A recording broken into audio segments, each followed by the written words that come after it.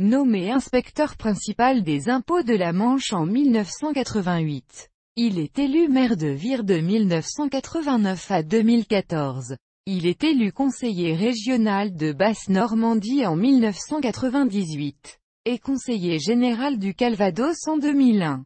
Mandat qu'il laisse pour l'Assemblée nationale, où il est élu le 16 juin 2002. Il est réélu en juin 2007. Candidat à sa réélection en juin 2012. Il est battu par Alain Touret.